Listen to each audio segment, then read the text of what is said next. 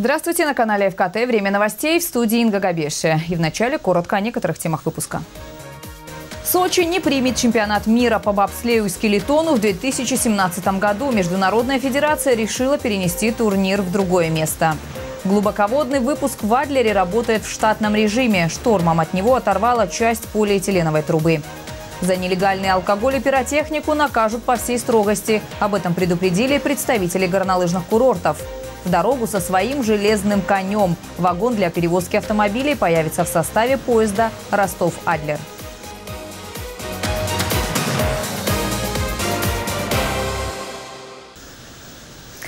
Сочи лишили права проведения чемпионата мира по бобслею скелетону в 2017 году. Международная федерация по этим видам спорта решила перенести соревнования в другое место. Губернатор Краснодарского края в Твиттере уже прокомментировал произошедшее и назвал ситуацию для Сочи некритичной. Перенос бобслейного чемпионата для Сочи лишь повод принять больше зимних туристов. Сезон будет отличный, да и сохраненные средства краю и стране есть куда направить. Целей много, направлений для развития тоже. Не критично. А мы в любом случае рады иностранным спортсменам и другим гостям наших курортов. Снаряжение в аренду в Красной Поляне всегда есть. Чемпионат мира по бобслею скелетону должен был пройти в Сочи с 13 по 26 февраля. Стадион «Фишт» в Сочи сдадут в эксплуатацию в конце декабря. Об этом на совещании по подготовке к чемпионату мира по футболу сказал губернатор Краснодарского края. Арену практически полностью переделали из Олимпийского стадиона футбольный. О траве Виктор Цулукия разговаривать может часами, даже в дождь. Он гринкипер, главный человек, отвечающий за газон на стадионе Фишт. Семь дней в неделю следит за тем, чтобы травинки не вырастали больше двух с половиной сантиметров, а температура держалась на отметке плюс 20 градусов. Нельзя допустить и заражения бактериями, опасными для живого покрытия. 7-8 человек следят за полем, постоянно уход. А у меня выходных нет. Кстати, почву для нового футбольного поля как конструктор собирали по всей России. Песок из Краснодарского края, часть земли из Ярославской области. Газон проектировался под конкретную климатическую зону. Сердце любого футбольного стадиона – его поле. За газоном здесь следят без выходных и в любую погоду. Траву подстригают каждые два дня, а в пасмурную погоду рост зелени стимулируют специальные ультрафиолетовые установки. А, важно избегать резких перепадов температур, поэтому по периметру поля установлены специальные датчики. В общем, на этом стадионе продумано все до мелочей. Тут даже ливневые решетки именные. Но трава всего лишь верхушка айсберга. Под ней сложнейшая дренажная система, которая уходит на 2,5 метра вглубь. Только труб для подогрева газона пришлось уложить 32 километра. Теперь на этом стадионе, уверяют проектировщики, круглый год можно играть на натуральном покрытии. Любой тропический ливень на любой промежуток времени объем водоприемный справится в течение 20 минут. Вся влага любого тропического ливня должна уйти с поля. Я думаю, у нас она и не образуется. Фишт по-своему уникален. Олимпийскую, изначально не футбольную площадку удалось переделать в современный игровой стадион. Создали новое поле, увеличили вместимость арены. Теперь стадион одновременно сможет принять почти 45 тысяч болельщиков. В том, что вся работа идет без сбоев, лично убедились вице-премьер Виталий Мутко и губернатор Краснодарского края Вениамин Кондратьев. Они спустились в подтрибунные помещения, посмотрели газон и поднялись на зрительские места. Это очень оригинальный будет стадион и интересный, и он будет особенный. У нас все стадионы немножко будут со своей. Это южный, южный стадион. Приехали представители четырех сборных, всем очень понравилось. На стадионе в Сочи уже заканчивают ремонт одних из самых важных помещений футбольной арены – раздевалки команд. Полностью готова святая святых – душевая. Практически завершена и зона выхода игроков на футбольное поле. Первый этаж западной трибуны, ее середина. Здесь э, через такие раздвижные двери команды будут попадать э, в прекрасный тоннель и выходить непосредственно уже в игровое поле. Северная и южная часть будут установлены соответствующие скамейки. И здесь открывается основной обзор. На открытой части совещания по подготовке Кубку Конфедерации чемпионату мира по футболу, которое прошло на стадионе Фишт, губернатор Кубани назвал сроки сдачи арены в эксплуатацию. Все работы строительные на стадионе завершены, все идет по графику. Планируем 28-го, еще раз подчеркну, сдать э, стадион, э, приступить к пусконаладочным всем э, мероприятиям, работам. Здесь хочется отметить, что наши болельщики, нашей сборной вот хорошую игру при плохом стадионе могут простить, а вот плохую игру при хорошем никогда. Однако готовыми к Кубку Конфедерации, который стартует в июне, должны быть не только стадион, но и тренировочные площадки, гостиницы, транспортная инфраструктура. Виталий Мутко и Вениамин Кондратьев посетили сегодня комплексы предматчевой подготовки, которые после чемпионата мира по футболу в 2018 году должны стать детскими спортивными базами. Однозначная позиция, что, что сегодня создается для чемпионата мира, останется для нашего детского спорта. Это серьезные деньги. Э, после чемпионата мира мы никогда их не возьмем, никогда никогда уже такого не построим. Сам вице-премьер высоко оценил подготовительные работы в Сочи к Кубку Конфедерации и чемпионату мира по футболу. Ну, в целом мы оцениваем готовность вообще краевой инфраструктуры города Сочи достаточно положительно. Э, тренировочные площадки в самом Сочи на высоком уровне готовности. И абсолютно уверен, что в апреле месяце они будут сданы. А остальные вопросы каких-то тревог не вызывают. Были сложности, там, технические какие-то вопросы, они будут решены. Мне нравится, что есть уже здесь дополнительное наследие, э, которое будет отдано, эти тренировочные площадки, которые будут на детскую спортивную школу, школу. Это то, что будущее останется в Сочи. А уже в ближайшее время определится соперник сборной России по футболу в тестовом матче. Возможно, это будет сборная Бельгии. Игра пройдет 28 марта и станет первой для арены Фишт. Александр Иванченко, Мария Крошная, Денис Перец, Денис Москаленко, Кубань-24, Сочи слову, сегодня в Сочи открылся центр выдачи паспортов болельщиков на матче Кубка Конфедерации и чемпионата мира. Он работает в торгово-развлекательном центре «Моремол». Оформление заявки занимает несколько минут, но для этого необходимо купить билет на матч. Всего в России открылись четыре таких центра – в Санкт-Петербурге, в Сочи, в Москве и Казани. Сейчас там пока только принимают заявки, а сами паспорта начнут выдавать в феврале. Продолжаем. Лучше, меньше, но качественнее. На инвестиционный форум в Сочи надо выставлять реальные проекты, а не воздушные замки. Такую задачу перед главами муниципалитетов и руководителями профильных ведомств поставил губернатор Вениамин Кондратьев. Глава региона провел расширенное планерное совещание. До главного экономического события года осталось два месяца. Срок небольшой, но за это время необходимо приложить все усилия, чтобы нынешний саммит прошел так же продуктивно для края, как и прошлый. Все проекты должны быть детально проработаны. Для них должен быть подобран земельный участок со всеми сетями и коммуникациями. Принцип остается прежним. Не важно количество проектов, а важно их качество. Это, это уже вот слоган, который должен стать для муниципальных образований края основным ключом э, к успеху. Именно вот так. Не количество, а качество проектов. А самое главное их реализация. Я уже об этом сказал. Коллеги, ну и исходя из практики, тоже оторванные от жизни проекты тоже не нужно готовить. Я говорю, что не нужны э, прожекты, нужны проекты. Потому что прожекты это то, что э, красиво на рисунке, красиво на бумаге, а реально никогда не реализуемо. На инвестиционном форуме в Сочи в 2016 году Краснодарский край заключил 250 соглашений на общую сумму 760 миллиардов рублей. Напомню, экспозиция региона отличалась от прошлых лет. Власти края ставку сделали на промышленные парки, логистические центры, альтернативные платные автодороги. Впервые были представлены направления ветрогенерации и бальнеологии. Глубоководный выпуск очищенных сточных вод в Адлере работает в штатном режиме. Я напомню, в результате сильного шторма произошел отрыв части полиэтиленовой трубы глубоководного выпуска. 200-метровую трубу накануне прибило к берегу на пляже санатория Ворошилова. Но при этом, заявляют в водоканале, адлерские очистные продолжают работать без сбоя. И никакой угрозы экологии курорта нет. В этом убедилась Ольга Десятова. О том, что в море плавает участок трубопровода, местные рыбаки сообщили в водоканал в эту пятницу. Ну а в понедельник 200-метровую пластиковую трубу диаметром в 2 метра обнаружили на пляже санатория Ворошилова. Ее прибило к берегу. По предварительной версии, это часть глубоководного выпуска адлерских очистных. Секция трубы метров 200. Видео с плавающей в море трубой появилось в интернете и обеспокоило горожан. Между тем в водоканале уверяют, глубоководный выпуск в Адлере работает в штатном режиме. Сам глубоководный выпуск – это 3 километра трубы, больше 3 километров. Из них 2 километра – это железобетонная труба, проложенная под землей, и полтора, почти там полтора километра – это пластиковая труба. То есть минимально, если даже считать, что это произошло в самом начале пластиковой трубы, то минимально стоки выводятся на расстояние где-то порядка двух километров от берега. То, что от глубоководного выпуска оторвало небольшую его часть, никак не повлияло на работу адлерских очистных сооружений. Здесь стоки как очищали, так и продолжают очищать.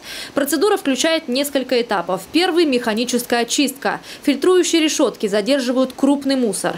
Затем в работу включается так называемая песколовка. Следующий этап – это биологическая очистка. Здесь точную воду смешивают с активным илом. После она попадает вот в это здание, где происходит финальная стадия очистки воды. Перфорация, то есть э, дырочки, которые находятся на барабанных фильтрах, э, 18 микрон. Вы представляете, как они э, чистят э, воду?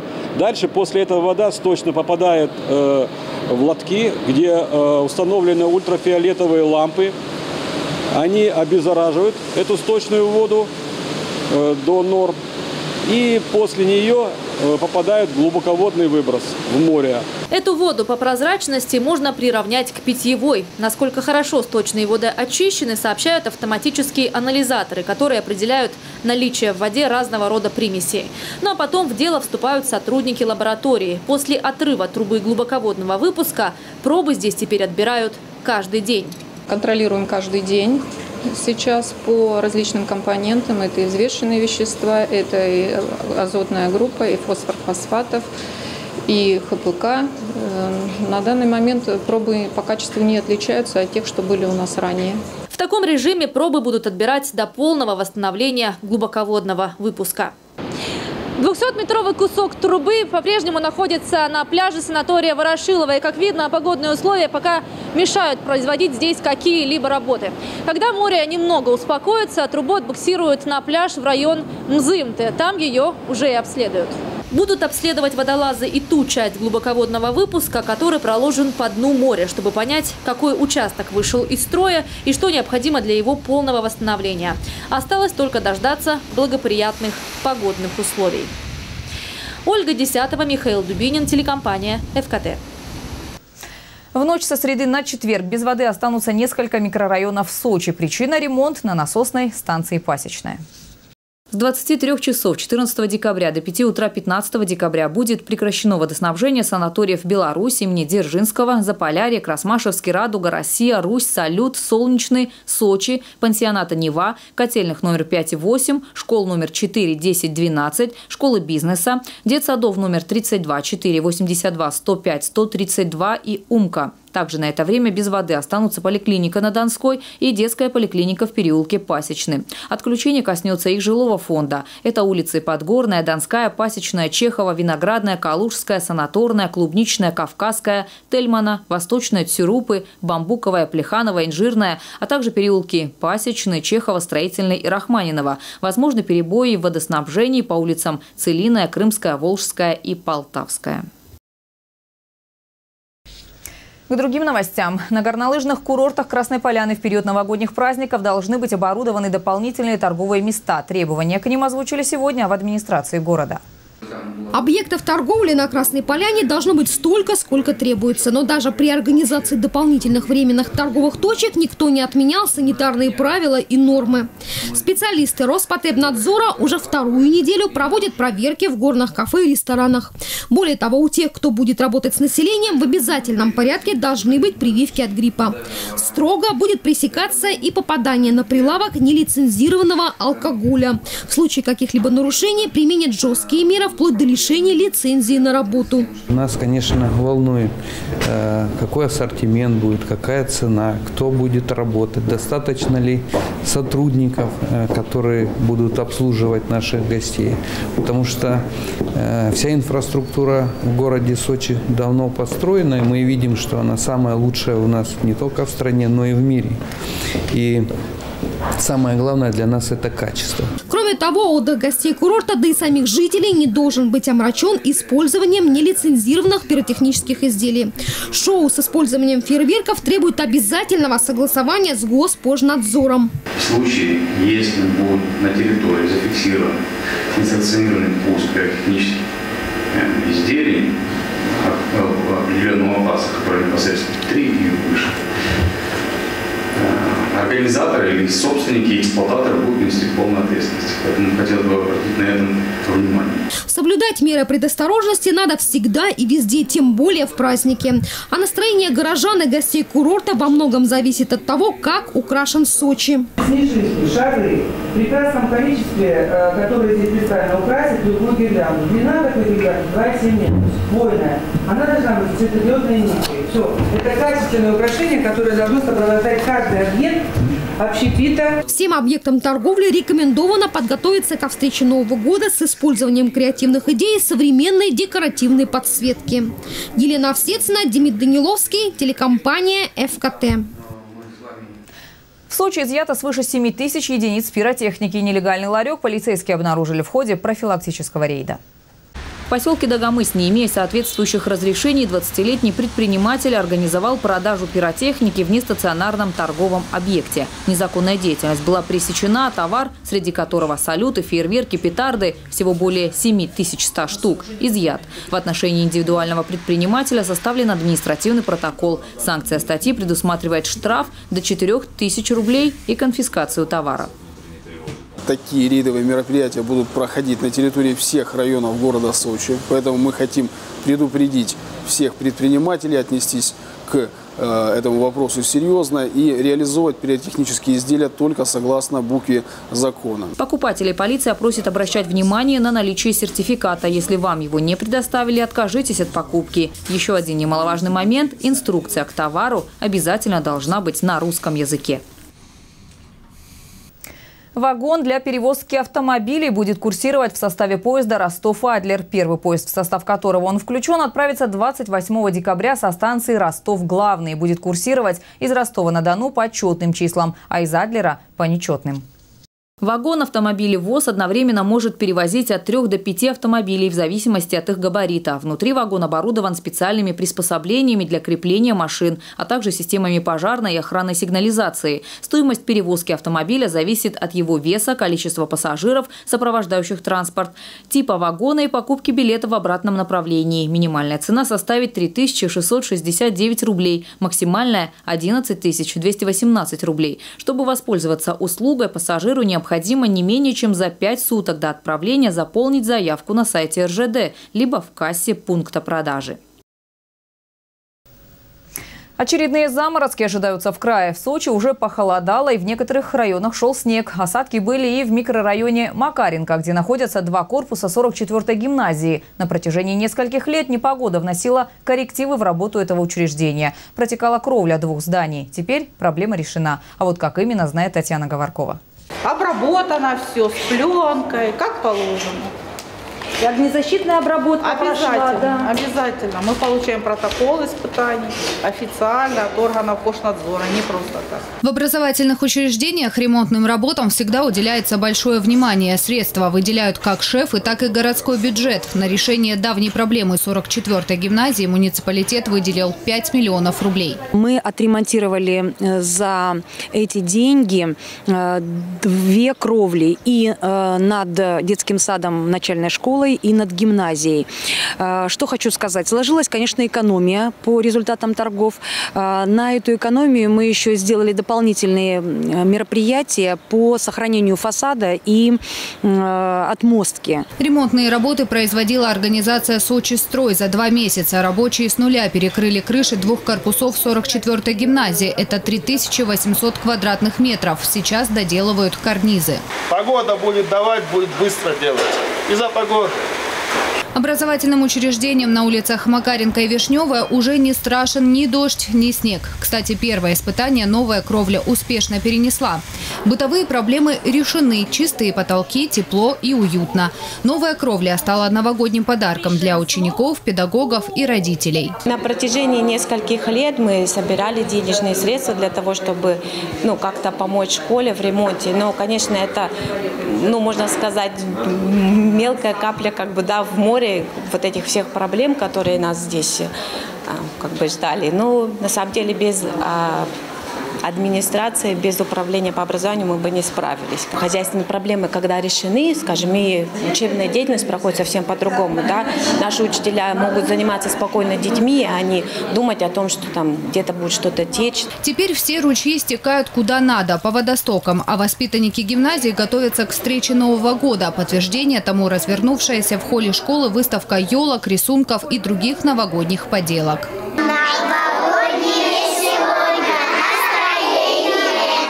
Татьяна Говоркова, Николай Тихонов, телекомпания «ФКТ». В Лазаревском отметили победителей конкурса на лучшее благоустройство территории. Участвовали в конкурсе как управляющие компании, так и жители. Фойе Лазаревского центра национальных культур школьники провели патриотическую акцию для гостей праздничного мероприятия «Наш герой». Учащиеся вручали гостям листовки с рассказами о героях Великой Отечественной, имена которых носят улицы микрорайона Лазаревская. В числе первых треугольники фронтовых писем получили глава Сочи Анатолий Пахомов, председатель городского собрания Виктор Филонов и глава администрации района Сергей Бражников. Глава Сочи Анатолий Пахомов рассказал о том, что сделано в городе-курорте для того, чтобы жителям, а население Сочи сегодня порядка 600 тысяч человек, жилось комфортно. Из бюджета выделяют средства на строительство новых образовательных учреждений. И только в Лазаревском сдали три новых детских сада, как снова начались стройки. Теперь возводят дошкольное учреждение в Лао и целый комплекс, где будут учебные классы для школьников и группы для малышей в Беранде.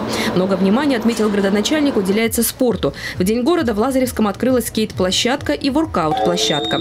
Возможно, воркаут-комплексы появятся в следующем году в каждом селе.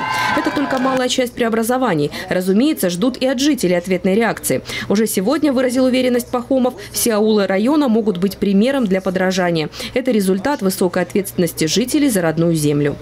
Хочу сказать, что задача стоит в том, чтобы сделать мотивацию наших жителей, которые в обязательном порядке просто обязаны следить за своей собственностью. Уверенно могу сказать, что примером для подражания могут стать все аулы Лазаревского района.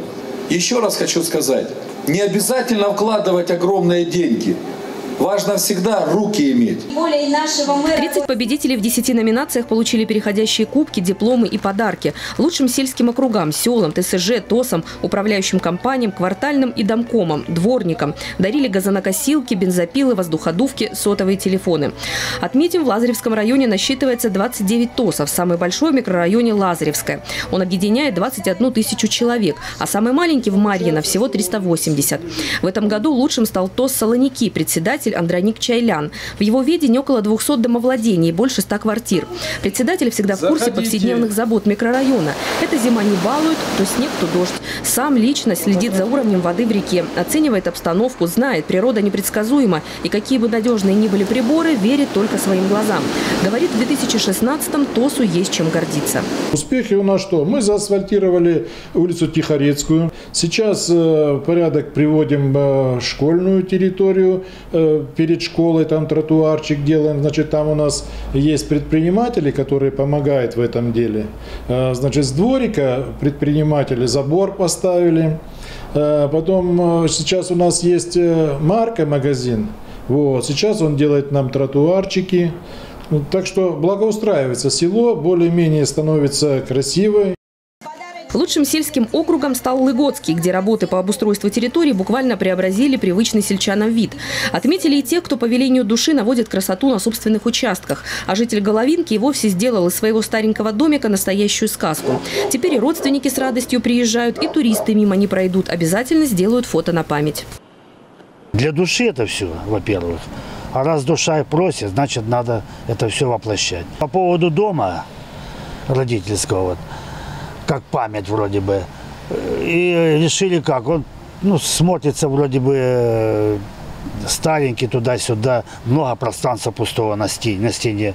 Посидели с супругой, подумали, решили его чуть-чуть украсить вроде бы. Ну вот украсили, получилось красиво. Дом родительский, мы здесь все выросли, и м, племянники выросли все. Поэтому это наш дом, это частица души родительской. Поэтому мы любые праздники, любой повод, мы все собираемся, племянники, сестра родная, брат родной, все собираемся, их дети приходят. В общем, это наш очаг. А вот для тех, кто не то что сказку, а элементарную чистоту на своей территории обеспечить не может, в этом году учредили спецноминацию «А нам все равно». Худшей в 2016 году организации в сфере ЖКХ «Дом мастер» не кто-нибудь, а сама Баба Яга подарила мегаприз. Лес дремучий, нечищенный, дорожки неметенные, то моя территория. А ты все-таки давай что-то там поделай, чтобы не путали люди, где лес дремучий, а где твоя территория. Помогу я тебе, добрый молодец. И есть у меня средства стопроцентное. На следующий год, где вот этот кубок большой, да, тебе дадут. Подожди секундочку.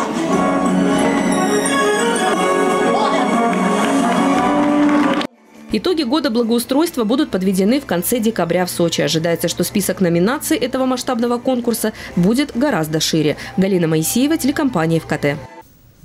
И на сегодня это все. Завершаем выпуск информации от наших партнеров. Сеть салонов ткани для дома предлагает широкий ассортимент тканей, текстиль, постельное белье и пошив штор на заказ. Партнер выпуска новостей – бизнес-центр «Грант». На двух этажах торговой площади представлены товары для дома и ремонта, декоративные штукатурки и краски, напольные покрытия, мебель, текстиль, сантехника и керамика.